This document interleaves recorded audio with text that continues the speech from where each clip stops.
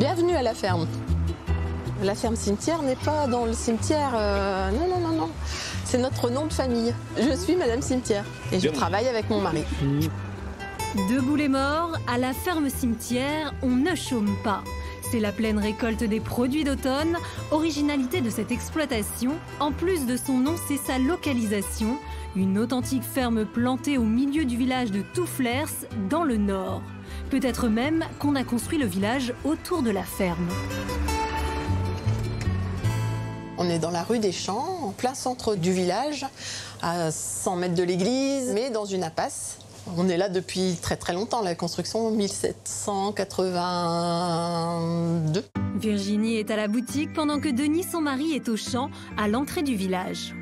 Nous aussi, on est entre Roubaix et Tournai en Belgique. La frontière est à 500 mètres derrière nous. On cultive une quarantaine de légumes différents sur l'année. On commence au printemps avec les légumes sous serre. On embraye avec les fraises. En, hiver, on a les poireaux, les carottes, les navets. Les endives de pleine terre, c'est une spécificité régionale. Il y a 15 ans, on arrosait quasiment rien. hein. On n'avait même pas de forage euh, pour arroser. Maintenant, ça devient inimaginable de- de- d'envisager cultiver des légumes sans avoir d'eau sur l'exploitation. C'est bien simple, si cette année on n'avait pas eu l'arrosage, tout ce que vous voyez là, les patates douces, les carottes, bah, les poireaux, ils seraient, même- ils seraient crevés sur place, ils ne seraient même pas repris. C'est une bonne nouvelle pour les déjeuners en terrasse, ça l'est moins pour les agriculteurs. Le nord de la France a longtemps détenu la palme de l'une des régions les plus pluvieuses du pays, la mer du Nord toute proche fournissant son lot de précipitations. Le réchauffement a bouleversé le rythme et le type de culture. Là, on va aller faire les patates douces. Il y a 5 ans, on n'en faisait pas, parce que ça nécessite un climat un peu plus chaud, un peu de chaleur pour euh, pousser. Et on a démarré, on a fait des tests il y a 5 ans, ça s'est révélé prometteur, et d'année en année, on augmente la quantité. Les stars du moment, les poireaux. Tout frais sortis de la terre, ils composent une mer végétale au reflet émeraude sur laquelle vogue le tracteur de Denis. Il y a de la poésie dans le légume, mais la réalité est plus crue. Dans 15 ans, y aura-t-il encore des champs de poireaux en plein cœur de ville? Cette fois, le réchauffement climatique n'y est pour rien. On cultive 15 hectares. Et il y a 15 ans, on était encore sur 20 hectares. On a quasiment arrêté les céréales et on développe euh, le maraîchage énormément et le circuit court. On n'est pas propriétaire de nos terres en fait. hein. Ici dans le nord, on est à 80% en fermage. Alors, les propriétaires, ça peut être euh, des institu- institutionnels. Nous, par exemple, on a l'hôpital de Roubaix, qui est un assez gros propriétaire. Des propriétaires qui pourraient préférer engranger des bénéfices en construisant des immeubles. Mieux vaut faire pousser une maison qu'un oignon. Regardez, là, il suffit de faire un quart de tour. Regardez, dans un lotissement, là, il y a un hectare qui vient d'être sauté. Ils sont en train de construire euh, 70 logements. Donc ça, c'est des terres en moins pour l'agriculture. Faire disparaître la ferme cimetière, ce serait faire une croix sur un poumon vert au milieu du village, mais aussi faire une croix sur un lien social essentiel, comme le petit point de vente direct tenu par Virginie. Bonsoir Virginie. Bonsoir Comment tu Maxence. vas? Maxence est chef et patron d'un restaurant dans le centre de Toufflers. C'est tout naturellement qu'il vient se fournir à la ferme. Oui, je connais bien. J'étais à l'école à côté quand j'étais petit. Quand les parents venaient nous chercher, on passait par ici. On- je connaissais bien le magasin ouais, déjà depuis, depuis longtemps. ouais.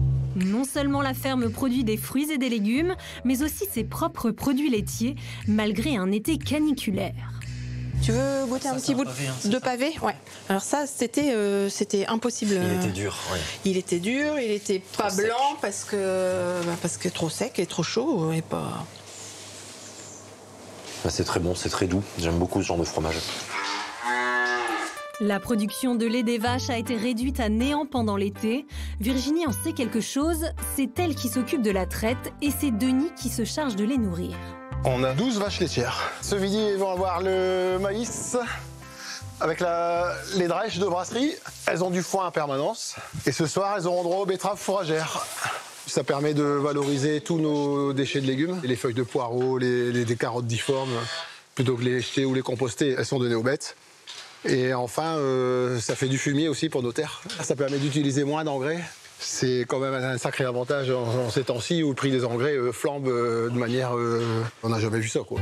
Un circuit vertueux, résultat des produits laitiers qui font d'excellentes recettes de yaourt pour Virginie. Fruits rouges, framboises, cerises, ça va? Oui, très bien. Et je vais aller rechercher des fraises. et sont une source inépuisable d'idées pour Maxence.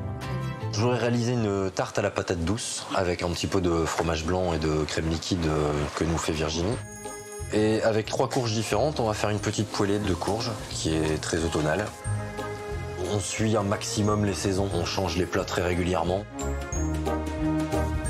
L'automne, c'est la saison que je préfère. Elle m'inspire beaucoup plus que le reste. Bon, certainement parce que je préfère de toute façon euh, le froid euh, à la chaleur. En tout cas, moi, je suis beaucoup plus créatif en automne qu'au printemps ou en été. C'est 100% tout flair, 100% nord. Les légumes du coin de la rue, les yaourts de la ferme d'en bas, c'est un immense privilège dont peuvent bénéficier les habitants de Touflers. Une production locale, un minimum d'engrais, une limitation des rejets de gaz à effet de serre car tout est vendu sur place. À l'heure où l'agriculture ultra-productiviste s'enterre dans des méthodes très contestables, la ferme cimetière, c'est peut-être la solution pour demain.